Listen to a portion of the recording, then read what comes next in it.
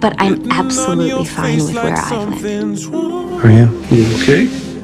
Staring out the window, holding back tears. Looking for the people we both know. You have a thing for bad boys. Officially a bad boy.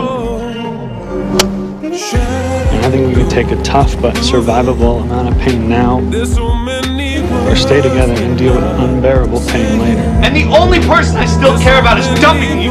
I would be sticking my head in the oven because the two most important people in my life would be gone.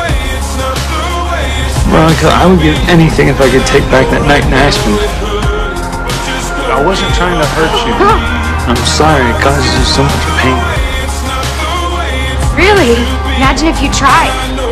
Yeah, I want you to stop now, I'm not kidding. Okay, now you're starting to piss me off. You're starting to piss me off. And I really love you, Veronica. I want to marry Veronica because she's the toughest human being I've ever met. when you feel Blows that would destroy most people. when you hold on She always picks herself back up. and the shadow. You have a problem with Veronica, you leave. There's no one else. I only want you. So you have a problem with Veronica, you're pretty much dead to me. I look at you, and I know you love her. I thought our story was epic, you know? Our story is epic. Epic how? Many years. Spanning years and continents. Like, why bother with something not good just because it's something? Especially when you know the difference. Pick Logan to be your lawfully wedded husband? I mean, do you? I think I do.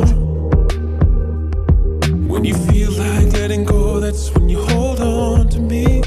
When it's always been When you feel like giving up, that's when you hold on to me. Pocket on the right. This is not the way, it's not the way I'm gonna miss it's you. meant to be. And I know right now. I love you, Veronica. I don't want to lose you from my life. I love you. No, this is not the way You love me? Lives ruined, bloodshed. Yeah. Yeah. Epic. Really think a relationship should be that hard? Mm, no one writing songs about the ones that come easy. to me.